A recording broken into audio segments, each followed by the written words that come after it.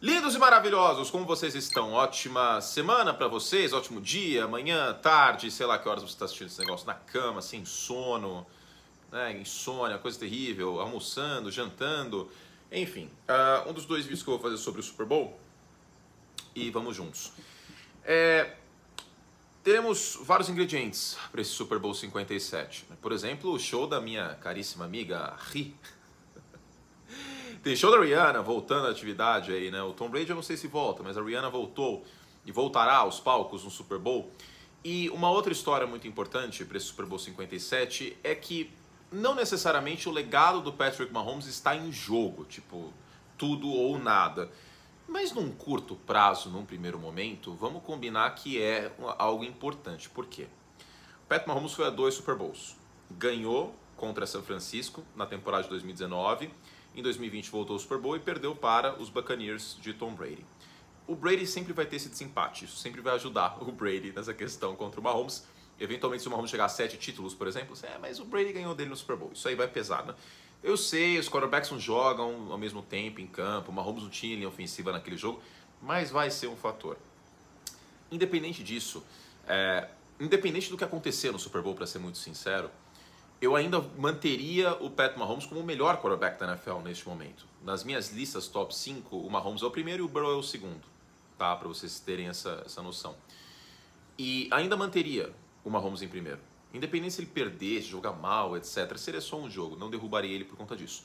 Mas tem um fator que pesa para quarterbacks. A estatística de vitórias de quarterback, tipo, o time com esse quarterback teve 10 vitórias, Vapor, o Brock Purdy não perdeu uma temporada regular. Eu acho que a gente precisa sempre de contexto. É uma das estatísticas que a gente mais precisa de contexto. Agora, títulos, anéis, isso aí fica difícil.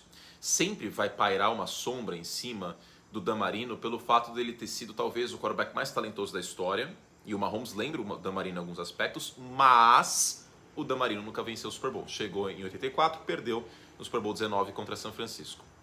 Sempre vai ser um ponto muito positivo, e ele vai para o Hall da Fama muito por conta disso, do Eli Manning ter vencido dois Super Bowls, um contra o melhor elenco da história da liga, os Patriots de 2007, e outro de novo contra New England em 2011. Título pesa para quarterback. Talvez seja a estatística mais importante para analisar o legado de um quarterback. E no presente momento, se Kansas City perde o jogo, se o Patrick Mahomes perde um jogo, o Mahomes vai ter um 2 em Super Bowl. E aí a narrativa deixa de ser Patrick Mahomes foi a três Super Bowls para Patrick Mahomes mais perdeu do que ganhou em Super Bowl. E o Brady, quando chegou nos três primeiros Super Bowls, ele ganhou os três jogos. Você, ah, mas o elenco dos Patriots era melhor, a defesa era fantástica, tal, o jogo terrestre era sólido. É, mas ele foi papel importante nos três. O primeiro conduziu a campanha da vitória. No segundo, um tiroteio no último quarto contra a Carolina e alinhou o Vinatieri para chutar o field goal da vitória. E no terceiro, uma vitória importante também que o ataque de New England apareceu contra a Philadelphia. O Brady foi um quarterback melhor que o Donovan McNabb naquela partida. Então, o legado do Patrick Mahomes ele não está em jogo.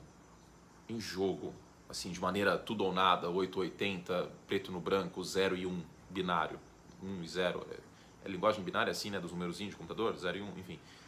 Mas esse jogo é importante para o legado do Mahomes. Ele é muito importante. E vai ser uma batalha dura.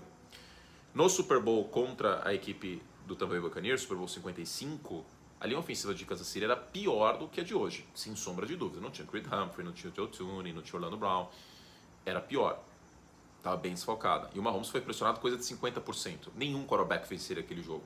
Nem o Mahomes, nem o Brady, nem o Breeze, nem o Manning. Nenhum quarterback teria vencido aquele jogo pressionado 50%. Não existe essa possibilidade. Ainda mais com o Tom Brady do outro lado. E vale lembrar que a linha ofensiva dos, dos, dos Chiefs melhorou, mas vai enfrentar um grande desafio, que é o front de Filadélfia. São 70 sacks na temporada regular. Eles estão a dois sacks de empatar com os Bears de 85 por mais sacks numa temporada, contando playoff. Cara, 70 sacks é muita coisa. O segundo colocado foi somente Kansas City, com 55. Então, ninguém ganha e ninguém perde sozinho.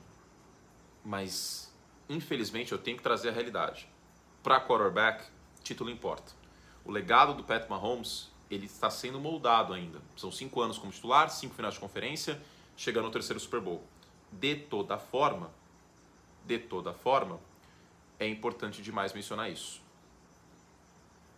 Campanha negativa em Super Bowl, por mais que seja cedo, é um fator que joga contra. Então, para o Mahomes, esse jogo é ainda mais importante. Certo?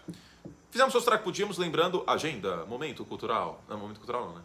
Agenda, Super Bowl 57 às 8h30, no próximo domingo, dia 12, e ESPN 2 e Star Plus. Antes tem um abre o jogo de uma hora, mais ou menos, a gente entra no ar às 6 para trazer tudo para vocês. Eu estou no abre, estou no pós-jogo. Então eu espero vocês aí para tudo sobre a grande final da NFL, tá bom? Não esquece de se inscrever aqui no canal da ESPN. Um beijo carinhoso e até a próxima. Tchau.